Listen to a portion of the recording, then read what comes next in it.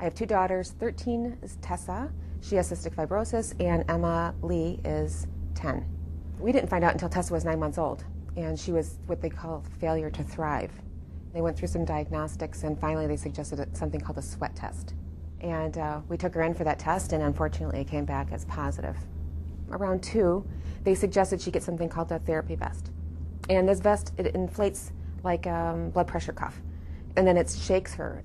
She could watch TV. She could. Um, she often watched videos.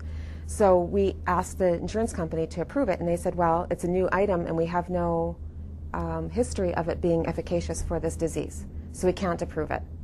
Eventually, they did. Enough people got enough experience with it that it became approved, and we got one for her, um, a nice small one. I think any parent can can imagine what it's like to have a child suffering and to think that there's something that should be done or could be done, and you can't provide it. It's heartbreaking. My husband works as an engineer and he has a wonderful insurance coverage there that he's had. He's been working there for 35 years. Michael was offered a job at the university and I was very excited about that because it was closer to home and it was a great opportunity for him.